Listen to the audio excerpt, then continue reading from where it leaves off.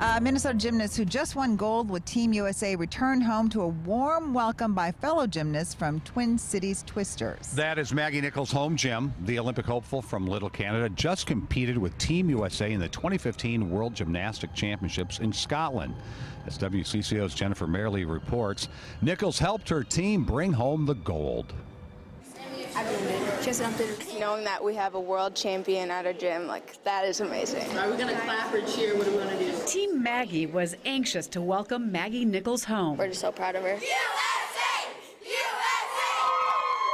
And what a welcome. Oh, good job! The 18 year old helped Team USA win gold in the team title at the 2015 World Gymnastics Championships.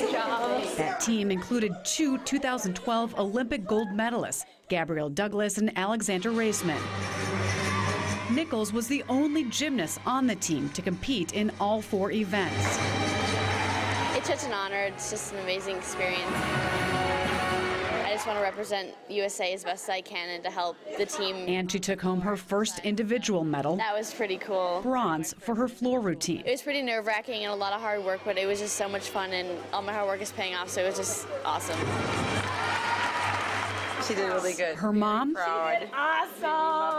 Her coach, and her dad were in Scotland cheering her on, and Nichols felt the support from her Twin Cities Twisters family back home. That's So awesome. It just shows how amazing my teammates are, and I love them so much, and we're just so close, and that made my day so much better. The elite gymnast's favorite moment from her first world championship, When I'm standing on that podium, it's just amazing, and I get the shivers. and now she looks to the future and preparing to compete on the Olympic stage. It's always in the back of my head, and I'm always striving for that goal, and that'd be amazing if I could accomplish that. One, two, three. I'll just take it one step at a time and see where the journey takes me.